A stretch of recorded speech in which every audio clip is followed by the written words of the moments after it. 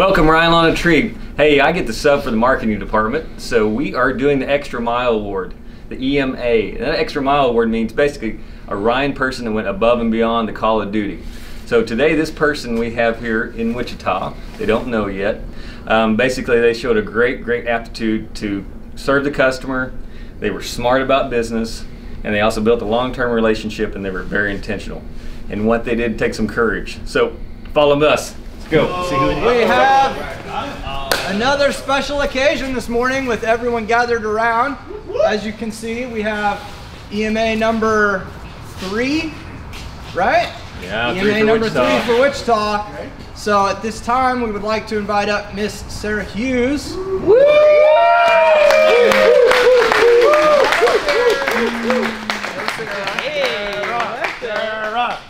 All right, we've got a little plaque for you, but I wanted to read off why Sarah is being recognized this morning. So, earlier in the summer, Sarah was out on an annual pruning job, and upon completion of the work, the customer contacted her stating that not all of the work uh, had been completed, at least to their expectation. Um, Sarah recognized that this was a long-time customer after reviewing the work order realized that you know there was some discrepancy.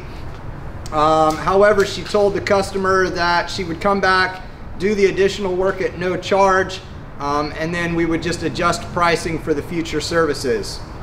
Uh, during the process of completing the additional work sarah got to know the customer a little bit better and learned that they had just finished their chemotherapy uh, regimen when she got back to the shop that afternoon, she she mailed a handwritten card congratulating him on the completion of his chemotherapy and letting him know that she would be praying for him going forward.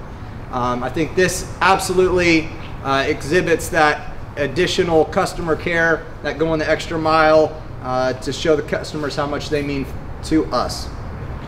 Um, so with that, we want to just congratulate you. Thank you for all the efforts that, that you put forth in your, what, year? You just celebrated a year with us? Yep. And so that's very, very big. So we appreciate you. Congratulations.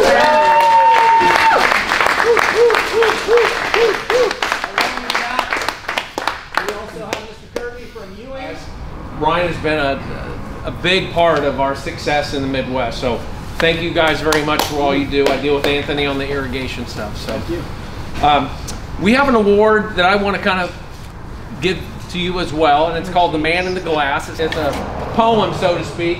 There's no way that I'm going to be able to read this without crying because I'm a sentimental guy.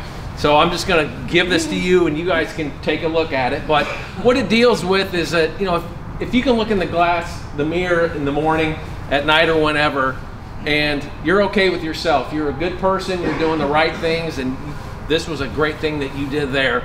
So I want to give this to you, guys. Thanks for all you do for us, Anthony. Love you, and I'd I'd like to give this to you, sir. Congratulations. Yeah.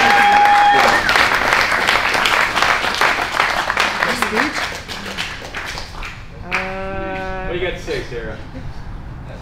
I, I I expressed this yesterday to Josh Murray when we got out on our job, but I think just in the theme of talking about like benefits and all of these things, like I just I'm just really grateful to be here. So that's about all I got. All right. Glad you're here. Congratulations.